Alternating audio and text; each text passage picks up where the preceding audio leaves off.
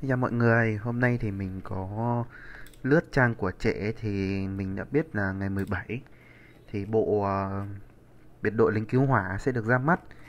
Nhưng mấy ngày nay thì mình lướt suốt thì trễ đăng cao khá là nhiều và mình cũng không mình chưa tính là có review bộ này nhưng mà trễ nó tung nhiều quá rồi.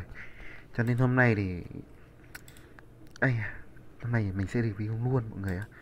Nói chung review thì cũng không có nhiều gì đâu. Nó cũng rơi vào khoảng 34 tập cho nên nó khá là dài. Nên mình sẽ review ngay tập 1 cho mọi người coi Thì cũng là cái tập mà trẻ tung ra nhiều nhất. Podcast, poster, các thứ. Nói chung thì bộ này mình nghĩ là bên đầu cơ sẽ thu mua rất là nhiều đấy. Mọi người hãy tranh thủ đi mua sớm nha Chứ không là hết. Hết cái podcast các mọi người. À poster chứ Quên podcast. Hết poster. Nói chung thì bản Việt thì mình không có nhưng mà mình sẽ review bản Nhật cho mọi người. Review trước luôn trẻ lách thì mình lách full luôn. Cầm trên tay cuốn tập 1 bản Nhật review cho mọi người luôn. Đó, đây là tổng quan 34 tập. Nói chung thì có nhiều lắm mình không review hết được đâu.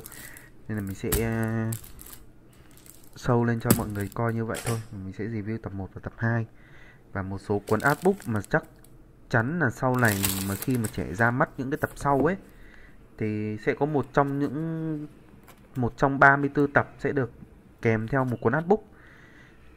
Thì đây là tập đầu tiên của à, bộ truyện à, Biệt đội lính cứu hỏa nói về hành trình của à, Shinra. Thì nói chung thì mình cũng không biết là review gì. Season 1 thì season 1 của bộ truyện thì cũng đã được chuyển thể thành anime rồi. Mọi người có thể uh, coi và biết được nội dung bên trong nói chung thì cuốn tập 1 này thì bìa tiếng Việt các thứ thì mọi người có thể coi ở trên trang của trẻ trẻ cũng đã đưa ra bản tiếng Việt rồi. Thì mình đây chỉ là mình review ờ, nó kỹ hơn một tí thôi. Cho bên trong vài trang truyện các thứ cho mọi người coi và bìa bên trong. Và tập số 2 này thì mình được tặng thêm một cái ờ, gọi là ấy này, giới thiệu thêm về bộ comic thôi mọi người ạ. Thực ra nó không có gì đặc biệt cả nó kiểu như là một cái uh, tấm quảng cáo thôi. Mình mua bộ này thì bên Nhật full là 34 tập thì được tặng thêm ba cái cuốn artbook. Ở đây thì mình review cho mọi người thêm hai cuốn artbook thôi nói chung thì để nói sao nhỉ? Bộ truyện này thì mình cảm giác là nó khá là ok đấy. Về cái phần chất lượng giấy thì ok còn bên trẻ thì mình chưa biết thế nào nha bên trẻ thì phải đợi được cầm trên tay cuốn ờ, của trẻ trên tay ấy, thì mình sẽ biết là như nào. Đây là hai cuốn artbook này. Mình không nhớ là cuốn, hai cuốn artbook này được tặng ở trong cái tập bao nhiêu.